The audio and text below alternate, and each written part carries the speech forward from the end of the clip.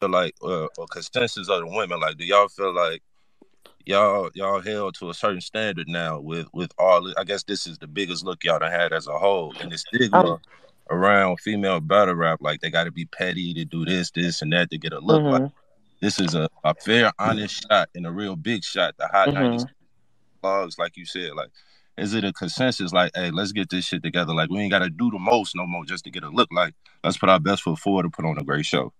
Um, definitely like like I was explaining earlier, like people were like not really attacking, but kind of confused why I wasn't arguing with Couture. I said, yo, listen, we're handling this like professionals. I don't have to argue with her. I don't have to be negative to her. Like the battle is already sold get me because y'all wanted it so it's like the names the two names together is just like gonna sell and then we're doing promo as far as um interviews and shit like that like i don't have to bash her and i don't have to talk about her online and she don't have to talk about my kid and all of that right for promo I didn't like. You know what I'm saying? Because we know what happened with the last. No, because y'all names is y'all names. Y'all don't need the promo at this point. Exactly, right. and I just feel like um after you know the last Demeric, like if I feel like it's going uh, left, like. left or I don't like you, I don't want no parts of it because that shit did more uh damage than it did good for me. You feel what I'm saying? Like, and it has nothing to do with street shit or nothing. It's like as far as my business, as far as m- me as a brand, you feel me? Like I will never, ever, ever give anybody that power ever again to like destroy or potentially ruin everything I work hard for.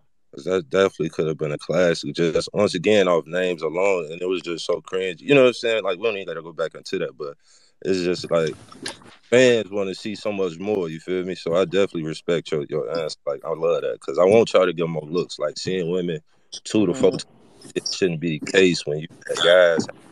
Five, yeah, like I just think like you know my last um me as a person like and um where I was mentally the last one I like that was the first time I ever like experienced that so where I like disliked somebody so much and I hated somebody so much.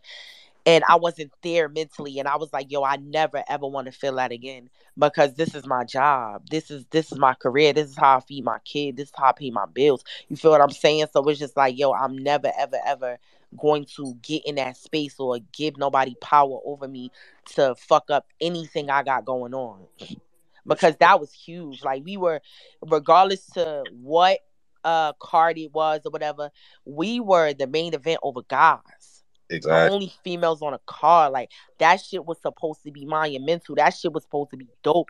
And like I said, once again, like I apologize to the fans and I apologize to people that wanted to see that because I'm taking responsibility. Fuck, fuck what the, the other party did. You get what I'm saying? I'm taking responsibility for me because as a vet, as a professional, I was supposed to handle things differently. And if I couldn't handle things differently, I wasn't supposed to take the battle. I respect that 100, Miss Hustle.